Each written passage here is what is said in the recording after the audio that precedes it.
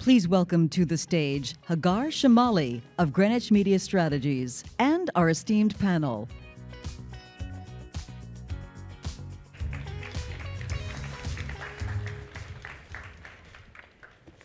Thank you, everyone. So great to see you today.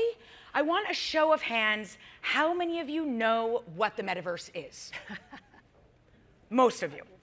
Okay, one more question. How many of you have been in the metaverse? Oh, more than I expected. Okay, well, this is a great segue to our panel that I'm very excited about. We are at what I would say the embryonic stage of the metaverse. And there is a lot of potential there for the metaverse, a lot of billions of people who could benefit from the metaverse. There are a lot of also unanswered questions of how the metaverse is going to be governed, how it's going to be regulated, how we can learn the lessons from social media to apply to the metaverse to make sure that it's not abused or exploited for nefarious purposes. So I'm excited about my panel today because they each have a really unique perspective on this. Next to me, I have Brent Harris, who is the VP of Governance for Meta. Next to him, I have Helle Thorning Schmidt, who is Her Excellency. She was former Prime Minister of Denmark, and uh, she is currently the chair, co-chair of the Oversight Board. Um, and next to her, I have Eric Kelly, who is the chairman and CEO of the tech company Overland Tandberg. So Brent, I'm going to start with you. If you could actually just walk us back and set the stage just to tell us what is the metaverse, what could it or will it look like, and why is it so important? So it's a great question. And there are parts of it that we know, and there are parts of it that I think will be built and that we don't know about yet. So, what do we know about what the metaverse will be? We know that it'll be interoperable. We know that there'll be a sense of immersion and space to it, that there'll be a sense of presence that you feel that you don't have today in the internet. And we know that it's not going to be built by any one company. It's going to be built by many different organizations, many companies, and coming together to create the next phase of the internet. And what does that look like in practical terms, or why, kind of personally, do I work on this? I'll say that one of the things that I think is really exciting about the metaverse is that because of that sense of presence, it breaks down physical barriers. And for me, I often think about my mom, who was, uh, was in a wheelchair her whole life. She's not with us today. And when I was growing up, she actually lost out on a job because it was on the second floor of a building. They hired her in, but they refused to actually accommodate. They said she couldn't do the job from where she was. And what I think is so exciting about what the metaverse makes possible and what you can begin to see in different products like workrooms and others is that actually allows you to come together and feel a part of working together, learning together, and being with each other that just isn't there yet fully on the internet. And that's what we're hoping to make possible. Amazing. You know, you mentioned, I want to build a little bit on something you said about how no one company will own it. And so I want to turn this to Helle a little bit. If you can tell us, you know, you have a lot of experience in oversight and regulation. How do you think the metaverse should be regulated? How, how could it be governed? Uh, what lessons from the past from social media can we apply to the metaverse? And how? Good question. Two words about what we're doing in the oversight board. Uh, we have been working for two years. Meta decided, then Facebook, Meta decided that they wanted an independent body to look at their content moderation. They basically decided we can't do this alone. It can't basically be Facebook or ultimately Mark Zuckerberg who decides what goes up or what uh, is left on the, uh, the platforms of Facebook and Instagram. So in the last two years we have been working with that. We have been taking cases. We have been advising Meta, and what they have committed themselves to Meta is that when we take a decision, they will follow that decision, and that is what they have done. We also issue a number of uh, recommendations, uh, and they also have to look at those recommendations and have actually adopted most of those recommendations. So our work is not done, but we're in a good process where we're trying to influence Meta to take more principled decisions about which contents get removed and what stays up. And when I say principled, it should be based on the, um, their own community standards, uh, which are actually good. Someone should read them. They're good community standards. But also, on top of that, human rights legislation. So our, our common human rights body of legislation should also be part of the decision making when we take content moderation decisions. That is what we're doing. So the next question is, of course, how can the knowledge that we have gained after two years, and I'd like to underline that no one else has done that. No other social media companies have done that. So we are the first of its kind globally. So the big question is, can some of our experience be used for the metaverse? Uh, because the, when, when we started the social, social media, and particularly when, when Meta was Facebook, the motto was move fast and break things. Mm. I think we need to go away from that motto, and this time we can't do that. We have to, with the knowledge we have of the complexity of content moderation and what can happen in the metaverse, we have to actually use all our experience that we have ga gathered together to try to, I, would, I wouldn't say regulate, but try to, to put in some how do we how do we operate? How do we, what's the mode of operation in uh, in the metaverse? And I think that's the next step, and we have to move a little bit fast in doing that. Interesting, um, Eric. I wanna I wanna harp for you on your background in tech and in working in government, or sorry, working with the government, and talk if you could comment a little bit about the government's role, governments around the world, yeah. and the role that they can or should play in making sure that the metaverse remains a safe place. But you know, and and how do we walk that line of ensuring that it's safe, it's it's regulated, it it it is there for everyone to take advantage of and for the benefit of people without over-regulation, of course. Well, I mean, um, that's a great question. And I think what she was saying is I'm one of the old guys here. So I've been in the tech, I would never say I've been in the that. tech industry for, for 40 years, and I can tell you, you know, the metaverse is like starting all over again. Mm-hmm. And I think we've learned a lot about the guardrails that we need to put in place. So I look at it as more not regulations, but just guardrails so we actually make sure we stay on track. Because my time you know, working uh, with uh, President Obama on his advanced uh, manufacturing science and technology, it really gave me some insight in terms of the speed of Silicon Valley and the guardrails we need to have to make sure we stay on track. But I think that when you think about the metaverse, it's global. I mean, and so it's not just a US regulatory requirement or guardrails, it's a global guardrails. And so what you're doing, uh, what other countries are doing are going to be so critical for us to make sure that we're successful. Because when you think about, and I, and I kind of envision the metaverse, and you know, I was telling my wife, I said, she says, well, the good thing about that is not only will I be able to go online, but I'll be able to have the retail store and be able to shop in Paris sitting, you know, on the couch. Uh, so, um, but I think, you know, to answer your question, having uh, a global architecture of guardrails is going to be so critical, you know, in the speed that we're moving with the metaverse. That's right. I feel sometimes it's missing in the social media world yeah. with that respect. So I, I want to flip the coin a little bit and mm-hmm. look a little bit at the negative side and knowing what those negative issues might be how we prevent them. So I have a next generation news media brand. It's Oh My World. It's on YouTube. Please subscribe. Do me that favor. um, and Oh My World. And I am excited about the metaverse for that reason. I want to do live events in the metaverse, for example, and anybody around the world could join them. But as a mother of three young children, I am also terrified of the metaverse. And I don't want to see my child with Oculus goggles in his room 24 hours a day. I mean, hopefully I'll have some measure of control over that. But, and, and not really knowing what he's up to and, and what what experiences he may encounter. So we know of a story of a few months ago that was reported in the New York Times of a woman who went into a virtual game, virtual reality, and within minutes was sexually assaulted. So, how are you seeing those experiences and pre preparing to prevent them? What is possible? Can you prevent that from happening? You know, can you please comment and elaborate a little bit on that? Yeah, so this is a really important topic of conversation. And some of what we've done as a company is started to set out set of principles. So we believe that people need to be safe, they need to be secure, we need to be really principled around how privacy is approached in the metaverse. And we also need to find ways to create opportunity and equity and inclusion.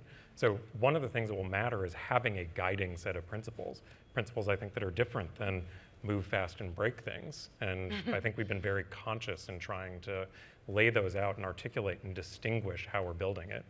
But in addition to the principles and how the company builds, I think also what's really key is to build together and build in a way that is different than how the current applications have been built.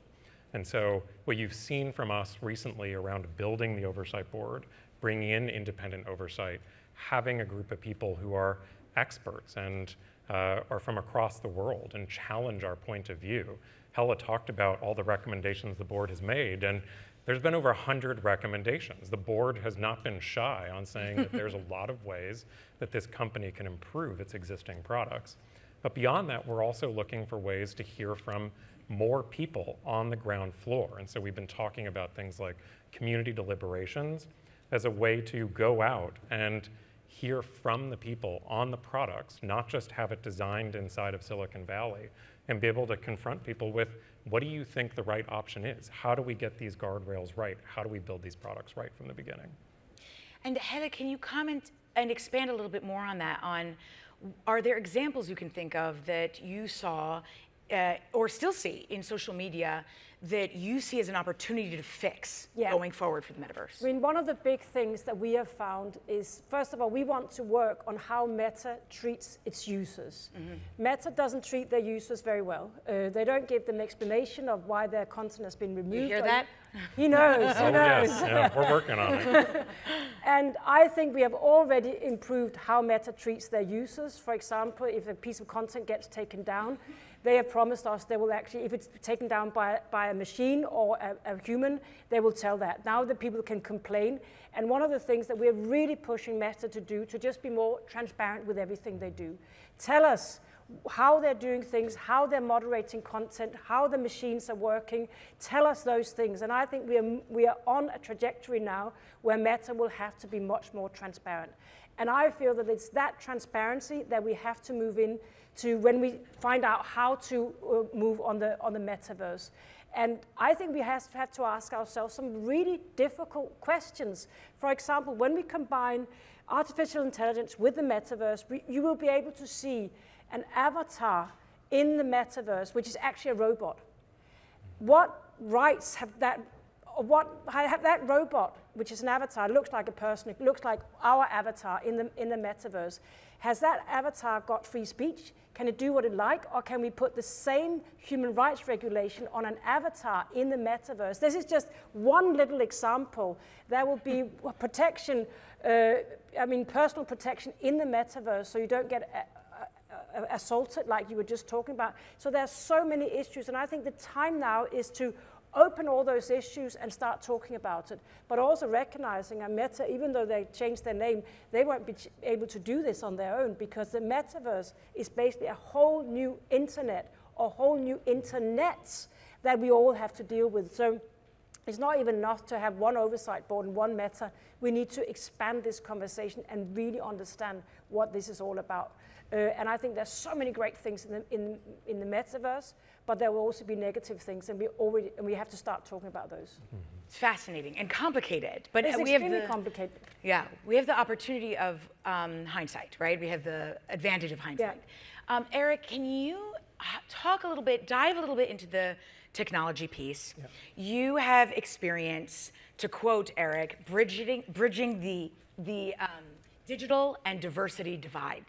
And how can you do that in the metaverse? What opportunities do you see to do that? How can you get your foot in the door to do things like that? I think you know this time we have a chance to get it right. Um, we talk about bridging the digital and diversity divide, and leveraging technology to do that is going to actually change how we actually operate and work with each other around the world. If you think about what we talk about global intellect and inclusiveness, in order to be able to do that, there has to be technology. So think about, as you mentioned, an avatar, or you're actually, whether you're in Ghana, whether you're in Japan, whether, where you are around the world, be able to bridge the digital and diversity divide, the metaverse is going to be critical for us to be able to do that. Because you think about, you know, whether you look at the reports, you know, there's a report out by, um, I think it's Korn Ferry that says by 2030, we will have a was it $8 trillion shortage in revenue because of the, of the workforce talent. It's going to be about 85 million workforce shortage. It's not a workforce shortage in population, it's a workforce shortage in terms of skill set. So think about what you can do with the metaverse to actually close that gap, whether it's training, whether it's actually you know, education, and making sure that you actually bridge that digital and diversity divide because the talent is there, it's just the access and this is going to allow them to be able to do that. So I think, you know, when I think about when I first started and the internet started, and you know, I think this time we have a chance to actually get it right, because the focus on the digital and diversity divide, divide is right front and center with us. The metaverse is actually now uh, becoming out of its infancy stage, so I think the combination of those will allow us to actually bridge that digital divide once and for all. Mm-hmm. Um, I'm going to pose a question that I'd love each of you to answer, which is what are you, and we'll start with you, Brent, what, I, what are you most excited about with the metaverse uh, and its growth? And also, what are you most concerned about in terms of challenges you foresee or things that you might be fearful of? Yeah, well, that's a good one. There's so many things. So, on what I'm most excited about, I think we took a moment to talk about it, which is I'm really excited about the possibility of breaking down physical barriers. Mm-hmm. So we talked about that with disability, but I also think it matters from a global perspective. How many people are in different places that don't have the opportunity to get training or education that otherwise could be possible if you actually could participate alongside whoever the best teachers are, wherever the best universities are? There's also opportunities on this to train people with surgery mm-hmm. and in health in order to actually do really technical and hard disciplines where the best way to learn is actually not necessarily on a patient until you really know. And so there's all these applications that I think are really deep that just aren't possible today with the internet. And if we can unlock them and do so in a way that is safe and secure and where everyone can participate, I think that is an immense promise. Um, what most worries me is will we actually learn from the lessons of the mm. past? And so, how do we actually come forward and start to really think about what hasn't gone well, whether it's with the existing applications or with the existing internet? And having dialogues like this, and I think everyone in this room has an opportunity to think about and reflect and bring forward what would you like to be different? Who would you like to actually be the decision makers in the future on this? And that I think is something that we have to find ways to get right. And everyone has a responsibility to speak up, bring their voice to it, and bring solutions to bear. Mm-hmm. I think that image, by the way, is helpful to a lot of people because people often think of the metaverse, you know, the regular lay person, we think of gaming and we think we hear Snoop Dogg buying some 400 million plot of land or something like this in the virtual in virtual reality. And when it's, I think it's really helpful to actually give scenarios of how it could be so valuable to people all over the world. So I appreciate that. Helle, can you, yeah. It, the uh, good things are what Brent is saying. There'll be so many opportunities. I want to know about specific areas. I want to know about the metaverse today. I want to gather with some people who are interesting and who know about that, and I'll convene them and we'll meet globally one day and we'll actually feel that we're in the same room. There'll be so many good things about this. My worry is, of course, that we don't, we leave our humanity outside of the metaverse and don't take our, be, our seri- not, we're not serious about our values. The great thing about the real world that we are in now is actually that we have developed a way of living with each other. We have developed human rights uh, legislation. We know what those what, what that, that, legislation, what that foundation that we all base our life on. We know what kind of values we have. And I'm so worried that we leave that outside in the, in the real world and do not take them into the metaverse. So the next big step is to find out, like we have done with the internet. I mean, the internet, I mean, social media is not a Wild West, actually, because we have rules, we take loads of stuff down, we have many rules that, that guides our life in there. Uh, that are connected to the real world, and we need to do the same with the metaverse. And I'm, so, I'm worried that we have to go through a Wild West period where we don't have these guardrails, as you mm-hmm. so rightly put them. And that's why we need to have the conversation like this and start the work now. Mm-hmm. And I'm, I'm sorry, but it has to be the big social media tech companies that does this because they have the, they have the power to do it. Like you started us, you have to lead the, the way in this, this work as well. So we're expecting a lot from Meta in the metaverse. Mm-hmm. Uh, Eric, if you could. Well, yeah, I think what excites me uh, about this is three things. One, bridging the, the economic equality, bridging health equality, and bridging education equality. Mm. Because it allows you to reach, as you mentioned, areas and people that we haven't been able to reach before. It allows small and diverse businesses to be able to reach uh, partners, communities, regions, countries that they haven't been able to before. The part that worries me is the cybersecurity place. In terms of how do we actually put the guardrails around cybersecurity. That's one of our biggest issues today, whether it's ransomware, whether it's all the cybersecurity happening. And we have to figure out how to stay in front of that. Um, so technology, I say, can be used for good, and it also can be used for not so good. And so those are really the things that, that uh, concerns me. Right, that makes sense. To, I'm going to end it. I'm going to end it soon. Um, to add to the point about social media and use for and you know good and bad, and and how these social media companies are really and tech companies are really changing their culture. Um, I had just last week learned that the Iranian government was impersonating me. Um, there was an account on Twitter, and by the way, they hate when I when people share their tactics. So I want everybody to know that they do that. And they were doing it to reach out to activists and hack their systems. And there was an account on Twitter that someone was impersonating um, me as my assistant. And within days, Twitter took it down. I mean, it was, which I think is fast. I mean, I think it was two days from which I had made the report. Um, they did it super fast, and I don't think that that would have been the case five years ago. Um, so I do, you do sense this this culture shift, and I think that's promising for the metaverse. So thank you for being here. Thank, Thank you, you. for your valuable insights. Thank you, everybody.